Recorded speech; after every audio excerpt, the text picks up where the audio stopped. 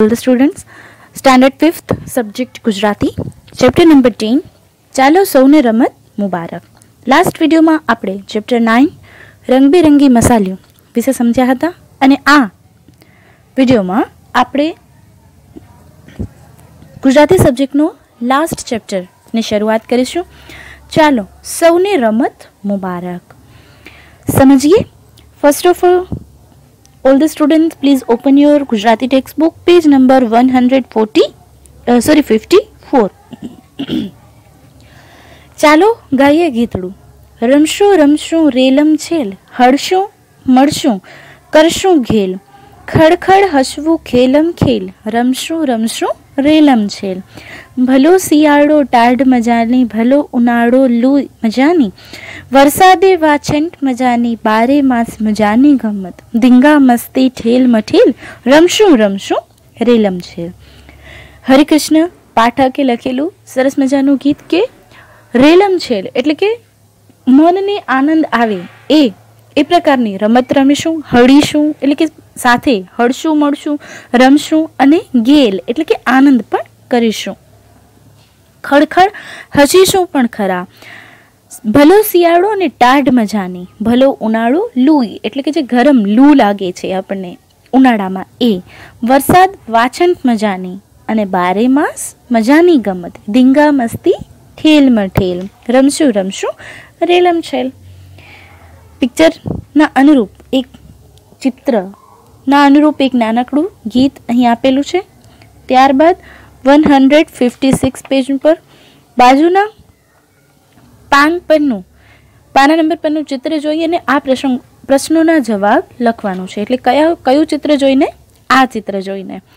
પહેલો પ્રશ્ન છે, આ ચિત્ર ક્યાંનું હોય એવું લાગે છે? તો ચિત્રમાંથી આપણે શોધીને લખી શકીએ કે એ આખું જે ચિત્ર છે, એ ચિત્ર બગીચાનું હોય તેવું લાગે છે. ત્યારબાદ બીજો પ્રશ્ન છે, ચિત્રમાં કુલ કેટલા બાળકો છે? જવાબમાં લખી શકીએ, ચિત્રમાં કુલ આઠ બાળકો છે. ત્યારબાદ, ચિત્રમાં બાળકો શું કરી રહ્યા છે? ચિત્રમાં બાળકો રમી રહ્યા છે. ચોથો પ્રશ્ન છે, બાળકો કઈ કઈ રમત રમી રહ્યા છે? જવાબમાં લખી શકીએ, બાળકો હિંચકા ખાવાની લપસની ખાવાની, દડો રમવાની, ગલુડિયા સાથે દોડવાની અને રમકડા સાથે રમવાની રમતો રમી રહ્યા છે. ત્યારબાદ પાંચમો પ્રશ્ન. આમાંથી કઈ રમત તમને સૌને વધુ ગમે છે? જવાબ લખી શકીએ. આમાંથી હિંચકા ખાવાની રમત વધારે ગમે છે. આ આ પ્રશ્નનો જવાબ છે તમે પોતાની અનુરૂપ પણ લખી શકો છો કે કઈ રમત સૌથી વધુ ગમે છે. ત્યારબાદ છઠ્ઠો પ્રશ્ન. એ રમત કઈ રીતે રમાય? છેલ્લે આ રમત તમે ક્યારે રમ્યા હતા? તમે ક્યાં ક્યાં રમો છો? તો નિશાળમાં રમીએ, ઘરમાં રમીએ, શેરીમાં રમીએ અને બગીચામાં પણ રમી શકીએ. અને નવમો પ્રશ્ન છે, તમે એક સાથે કેટલી દોરડા કૂદ લગાવી શકો છો? એટલે કે દોરી એક સાથે કેટલી કૂદી શકો છો? એક સાથે વીસ દોરડા કૂદ લગાવી શકીએ છીએ. આ ફિફ્થથી કરીને નાઇન્થ ક્વેશ્ચન આન્સર તમે તમારા અનુરૂપ આન્સર પણ લખી શકો છો.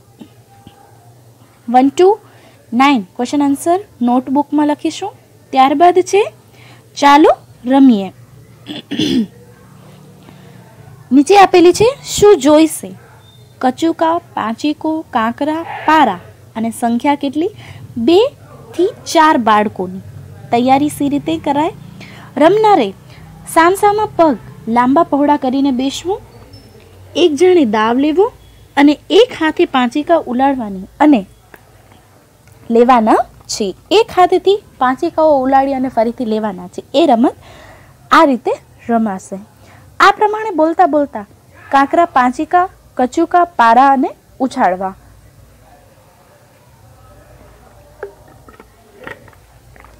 ત્યારબાદ page number one hundred fifty seven ઉપર. આવરે તું દોડી, નીચે છે છાબડી આ રીતે બોલી અને પાંચિકા ઉછાળવાના રહેશે. રમત એક છે. આવરે છાબડી. ત્રણ વિદ્યાર્થીઓ, જમીન પર પાચુકા, પાંચ પાચુકા મૂકી દો. એક પછી એક. પાંચુકો હથેળીમાં લઈ અને પંદરથી ત્રીસ સેન્ટીમીટર જેટલો ઊંચે ઉછાળો. તે નીચે પડે, તે પહેલાં બંને હથેળીઓ એકસાથે ઊંધી ભેગી કરી ઝીલી લો. ત્યારબાદ બે પાચિકા ઉછાળી લો. આ રીતે ઝીલી લો. આ પ્રમાણે ત્રણ ચાર અને છેલ્લે પાંચેય ઉછાળીને ઝીલી લો પાંચેય વારામાં કુલ જેટલા પાચિકા ઊંધી હથેળી પર ઝીલ્યા, તેટલી તાળીઓ બાકીને બંને પાડીને શાબાશી આપશે. આ પ્રમાણે ત્રણેય વિદ્યાર્થીઓ છે વારા ફરતી રમશે. આવરે છાબડી કરી અને આ પાંચે પાચિકાને ઉલાડીને રમત કઈ રીતે રમાશે તે અહીં વર્ણવેલું છે. ત્યારબાદ બીજું છે કે આ પ્રમાણે બોલતા બોલતા કાંકરા, પાંચિકા, કચુકા અને પારા ઉછાળવા. ઘાઘર ગબ્બો, મારા હાથમાં છબ્બો. ઘાઘર ગબ્બો, મારા હાથમાં છબ્બો. આ રીતે બોલતા બોલતા પાંચિકાને ઉછાળવાના. જમીન પર મૂકેલા પાંચમાંથી એક પાંચિકો ઉઠાવો. તેને તમારા એક હાથ ઉપર ઊંચો હવામાં ઉછાળો.